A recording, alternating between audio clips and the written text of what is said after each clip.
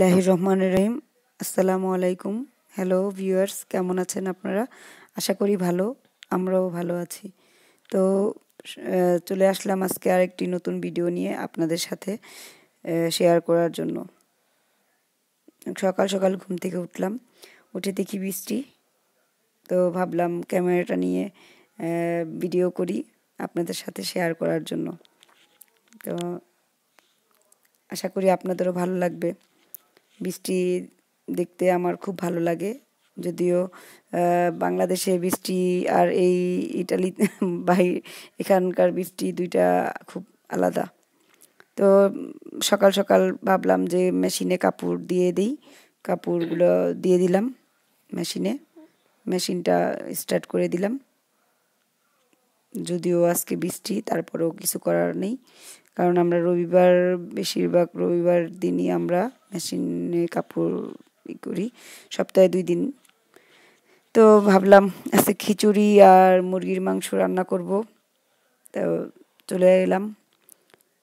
খিচু, মুরগির মাংসটা বসিয়ে দিলাম। ভাবলাম যে গার্লিনা ইটালিতে শক্ত মুরগিকে গার্লিনা বলে বাংলাদেশে শক্ত মুরগি, এরকম মুরগি আমরা অবশ্য দেশি মুরগি আর কি যেটা বলে বাংলাদেশে, কিন্তু এখানে তো দেশি মুরগি নেই, যার জন্য এই শক্ত মুরগিটাকে আমরা এরকম মানে বাংলাদেশের মুরগির মতো লাগে, তা নাহলে তো ফার্মের মুরগি ওগুলা।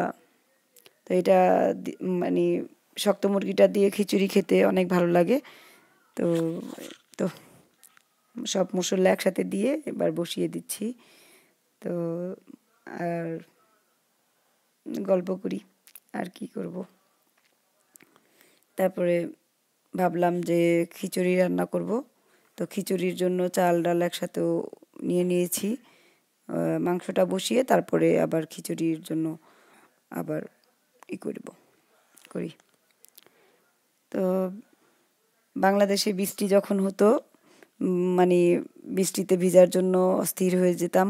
বৃষ্টিতে ভিজতাম কিন্তু এখানে আসার পরে আর মানে সেই সাহসও নেই, কারণ যে ঠান্ডা, ঠান্ডার মধ্যে বৃষ্টিতে ভিজলে তো অবস্থা খারাপ হয়ে যাবে। এর জন্য আর বৃষ্টিতে ভিজার সাহসও করতে পারি না। খুব মিস করি এগুলো। এখন এই তো চালটা ধুয়ে নিলাম, ধুয়ে নিচ্ছি। এখন ধুয়ে, ভালো করে ধুয়ে তারপরে খিচুড়িটা বসাবো। এমনি নর্মালভাবে খিচুড়ি যেটা বসায়, ওইটা বসাবো আজকে একটু নরম। এজন্য আর কি। তো পেঁয়াজ টিয়াজ দিয়ে দিলাম।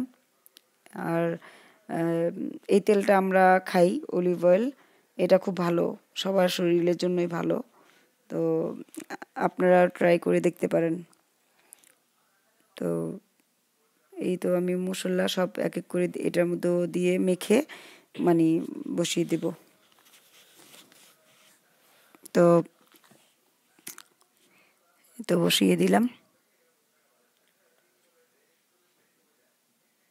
দুটাই তারপরে আবার মুরগিটা দেখলাম যে কষানো হয়ে যাচ্ছে। একটু নাড়াচাড়া দিয়ে দিলাম। আবার নেড়ে চেড়ে ঢেকে রাখলাম। তো আবার কিছুক্ষণ জন্য।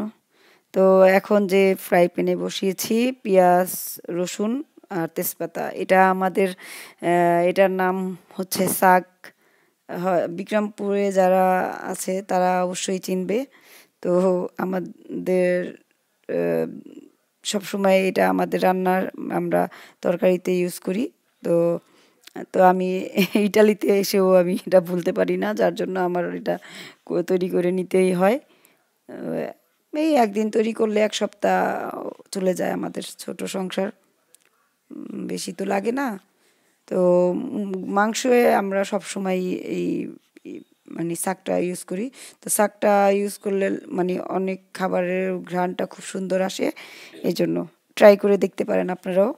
তো এটা বানানোর জন্য আমাদের রান্না তো সবাই করে, কিন্তু শাকটা যেহেতু স্পেশাল তো এটার জন্য পেঁয়াজ আর রসুন জিরা জিরা লাগে, ভাজা জিরা আর তেজপাতা ভেজে সব একসাথে তারপরে আমরা বেটে তো এখানে তো আর বাটাবাটি করা হয় না ব্লেন্ডিং করে নিই। তো ওই যে আমি ব্লেন্ডিং করে নিলাম, এখন শাকটা মানে তরকারিটা নামানোর কিছুক্ষণ আগে দিয়ে একটু পানি দিয়ে গুলিয়ে দিয়ে তারপরে আপনার দুইটা, তিনটা বলক দিব তরকারিটা, একটু ঝোলটা কমে যাবে, তারপরে নামিয়ে নিব। তো ওইভাবেই দিয়ে দিলাম, তারপরে ঢেকে দিব, ঢেকে দিলে হয়ে যাবে। তো আমার, আশা করি আমার এই রেসিপিটা আপনাদের ভালো লাগবে, আপনারাও ট্রাই করে দেখবেন। তারপরে আর কি আরও বাকি কাজ টাজ করলাম করে খাবার রেডি এই